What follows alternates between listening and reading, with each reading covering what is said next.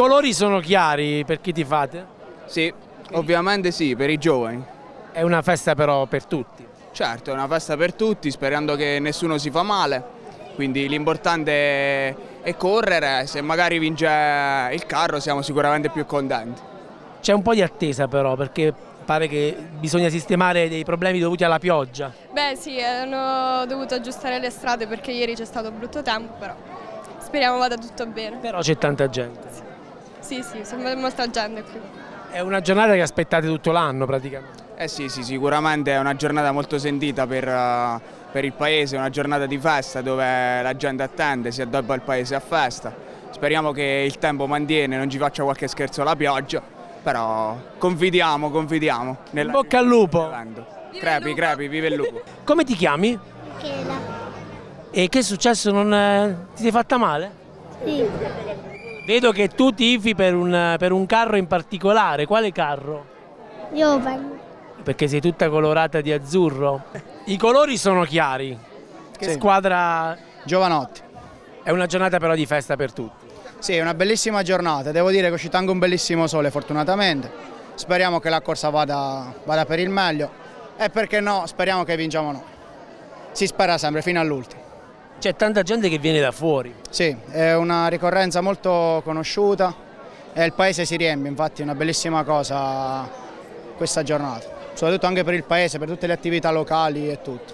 C'è un grande lavoro dietro tutto l'anno. Sì, specialmente anche dico, sia l'organizzazione per tutto, tutto il comune, il carro soprattutto perché comunque è un anno intero di sacrifici, quindi sì, una- un grandissimo sacrificio per tutti e tre i carri. È iniziata la festa. Finalmente sì, la più attesa dell'anno. Con tanta gente. Sì, il tempo sembra che ci accompagni. I colori tra l'altro sono chiari del tifo. Bi- bianco e azzurro per sempre. Quindi giovani. sì, E è una festa, dicevo, però che è preparata tutto l'anno, c'è un grande tutto lavoro dietro. l'anno, sì. Eh, partiamo da ottobre fino a maggio, poi o a, o a giugno, quando sta- capita. C'è stato un po' di paura per ieri il, il brutto, brutto tempo, tempo, tanto che sì. c'è attesa perché stanno risistemando il Infatti tracciato. penso che il eh, sorteggio slitti di un po', ma noi l'aspettiamo. Però a prescindere dai colori è comunque la festa di tutti. È la festa di tutti e che non si faccia mm, male nessuno. Buona festa. In bocca al lupo a tutti, ciao! Presidente Quintino Pallante si chiude qui a Portocannone la serie di Carresi, una tradizione importante. Beh, senza dubbio, poi soprattutto quella che chiude il ciclo, insomma quella che ci rimanda all'atteso ciclo dell'anno prossimo. Oggi è una bella giornata, questa tradizione che sembra sempre rigenerarsi. Poi da quando sono state instaurate norme di sicurezza si è anche più tranquilli in maniera che si possa vivere con la serenità che, che deve essere quella che non deve mai mancare, con i giovani, con eh, i- il confronto, i giovani in senso anagrafico, non vorrei parteggiare per uno o per l'altra fazione, che devono partecipare i ragazzi, quindi da questo punto di vista, che devono, parte- devono partecipare con la serenità, eh, rinnovando la traduzione, i valori che dentro la- una competizione ci sono, anche per quello che rappresenta, insomma ci sono tutti gli ingredienti perché ogni anno si possa assistere con rinnovato impegno e con la partecipazione di tutto il basso Molise, ma non solo, perché questa è diventata una tradizione che ha eh, superato anche i confini della nostra regione. Ecco, è proprio un dato di fatto che eh, resta un veicolo turistico anche. Ma senza dubbio il Molise deve come, patrocinare nel migliore dei modi le sue manifestazioni, ne deve da una parte conservare la tradizione, dall'altra offrirlo a un territorio che cresce e dentro il quale ci sono tutte le caratteristiche per portare anche un'organizzazione socio-economica che debba a- appunto crescere insieme con, con le manifestazioni che sa custodire gelosamente. Si parla di cultura, si parla di storia e si parla di sociale. Beh certo, volevo dire che lei ha fatto una domanda molto pertinente. È difficile distinguere la linea di confine tra la tradizione, il turismo, il sociale, la cultura. Questi ingredienti la nostra regione li ha conservati gelosamente dà un tesoro, noi oggi dobbiamo farle un patrimonio da condividere con l'intera comunità che genera appunto quello sviluppo che è assolutamente necessario per preservare appunto la cultura ma anche per dare un'occasione al nostro territorio. Buona festa. Buona festa a tutti.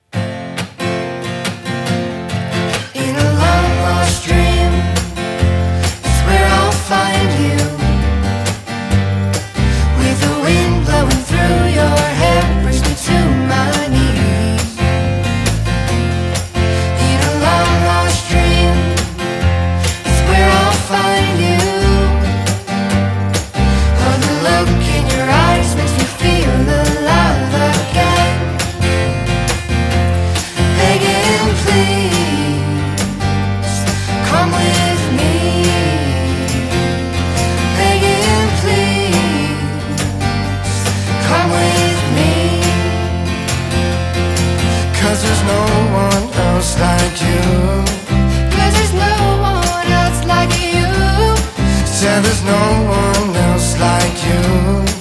And there's no one else like you. Senatore della porta ultima delle tre Carresi, una tradizione che sul Basso Molise ma che coinvolge poi in realtà tutta la regione e anche oltre.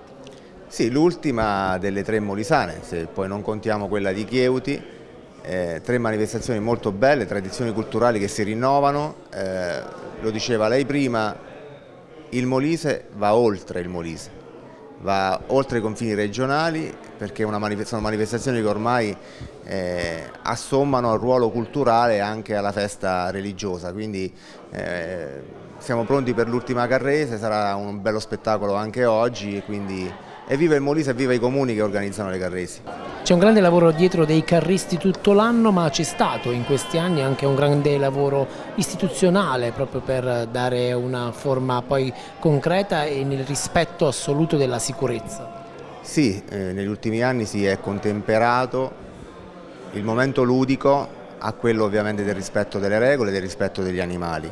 L'ordinanza Martini è stato il primo punto, oggi è allo studio un decreto che vada a superare quella ordinanza nel rispetto ovviamente degli animali, delle bestie, nel rispetto oh, anche della, della, festa che deve essere comunque conservata eh, perché è una tradizione ultrasecolare. Ma da questo punto di vista siamo abbastanza tranquilli, personalmente ho fatto in modo che i tre comuni, Molisane più Chieuti, siano al tavolo ministeriale, il Ministero della Salute che è competente e quindi potranno apportare il loro contributo in quella fase per la redazione del nuovo documento.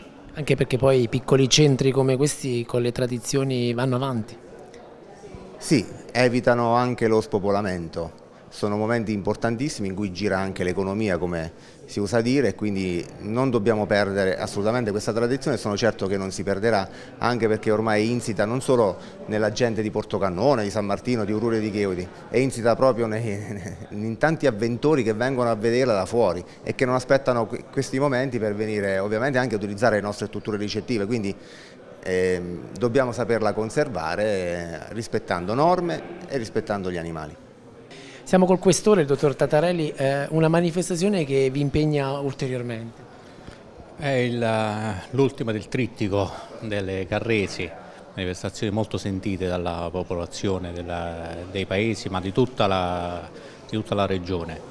Ci impegna e la cosa importante è che ci impegna insieme agli organizzatori, insieme alle amministrazioni comunali, cioè ormai si è questa sinergia in base alla quale la sicurezza della manifestazione è gestita in collaborazione sotto il coordinamento della Prefettura e questo permette sempre di organizzarla sempre meglio e di avere sempre maggiori risultati sia in termini di sicurezza ma anche in termini dell'esito positivo della manifestazione. Anche perché la sicurezza resta un caposaldo.